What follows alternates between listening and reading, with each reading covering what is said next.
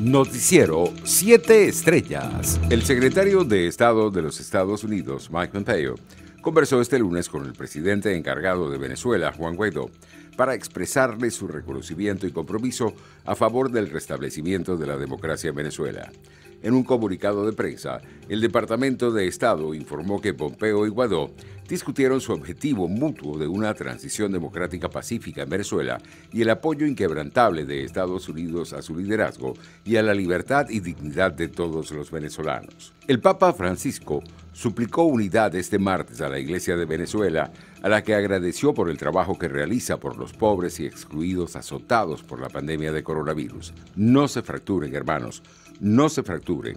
Siempre hay una posibilidad de unirse como también siempre hay una posibilidad de aislarse y crear una actitud del corazón sectaria, fuera de la unidad de la Iglesia, clamó Francisco en un video mensaje divulgado por el Vaticano.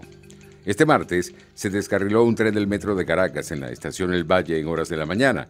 Los usuarios desalojaron los vagones y tuvieron que caminar por los túneles. Internacionales. El presidente de Ecuador, Lenín Moreno, advirtió este martes del peligro de tener un narcogobierno de Venezuela en una región donde operan los principales carteles de la droga a nivel hemisférico y global.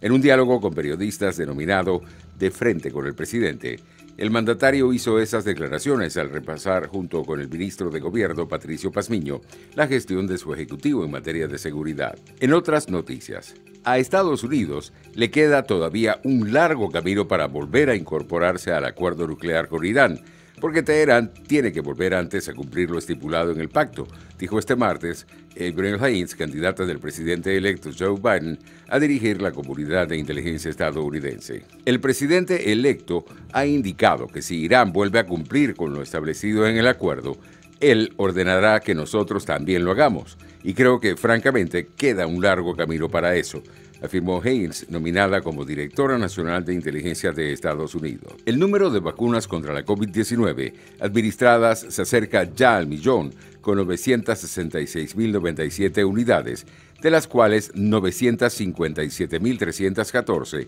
son del laboratorio Pfizer BioNTech y 8.783 de Moderna, con un porcentaje del 84,5% de inyecciones aplicadas sobre 1.143.300 recibidas, según los datos oficiales ofrecidos este martes por el Ministerio de Sanidad. Además, se han inyectado las dos dosis de la vacuna de Pfizer necesarias para la inmunidad a un total de 9.341 personas, cifra que cuadruplica las 2.315 contabilizadas ayer lunes y que supone casi el 1% de la totalidad de las administradas. Economía. Janet Yellen, nominada por el presidente electo de Estados Unidos, Joe Biden, para ser la próxima secretaria del Tesoro, pidió este martes al Congreso un gran estímulo fiscal para evitar el riesgo de una recesión más larga y dolorosa en medio de la crisis provocada por la pandemia del coronavirus. Los economistas no siempre están de acuerdo, pero creo que hay un consenso ahora.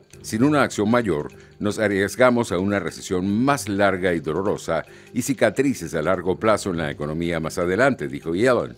Los precios internacionales del crudo ganaban terreno en horas de la tarde. El WTI de referencia en Estados Unidos se cotizaba en 52 dólares con 96 centavos el barril, mientras el Brent de referencia en Europa se ubicaba en 52 dólares con 54 centavos. Deportes. Raúl González, exjugador y actual entrenador del Real Madrid Castilla, dio positivo en COVID-19 en una reciente prueba, por lo que tendrá que mantenerse aislado los próximos días, informó el club. Por ello, Raúl no podrá sentarse en el banquillo del Castilla en el partido del domingo que viene en el campo del Getafe B. El final madridista lleva más de un mes sin competir. Su último partido oficial fue la victoria el pasado 13 de diciembre contra el Atlético de Madrid B, aunque después jugó un amistoso contra el Móstoles el domingo 3 de enero. El comité de competición ha sancionado con dos partidos a Leo Messi por su expulsión en la Supercopa de España ante el Athletic tras dar un manotazo hacia el Villa Libre